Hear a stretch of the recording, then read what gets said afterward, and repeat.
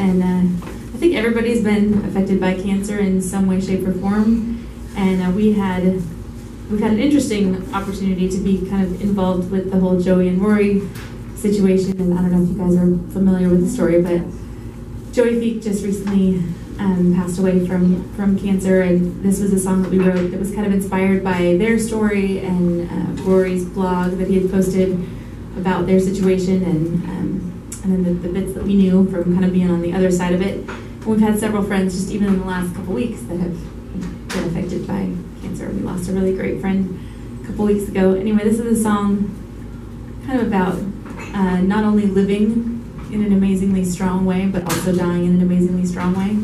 So it's called Legacy.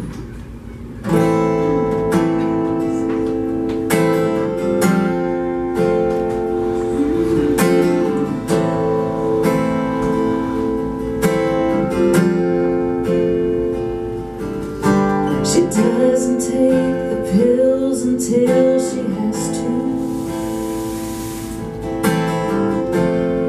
Says she doesn't want to miss a thing. The joy she gets from being there to watch her children playing is stronger than the suffering. She can't get used to all the broken pieces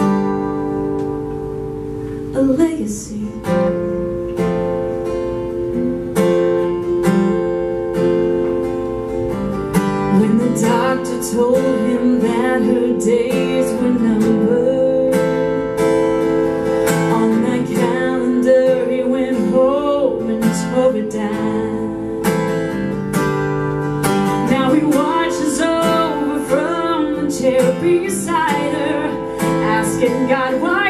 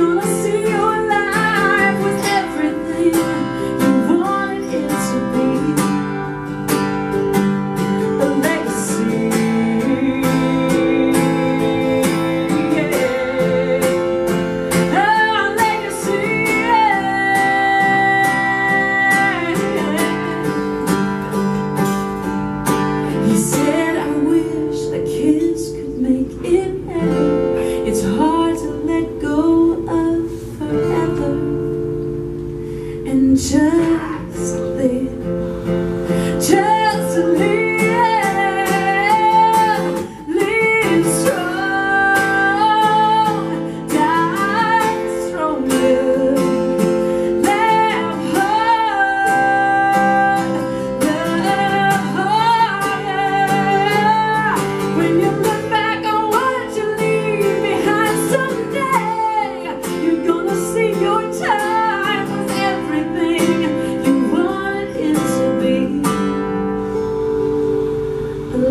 see.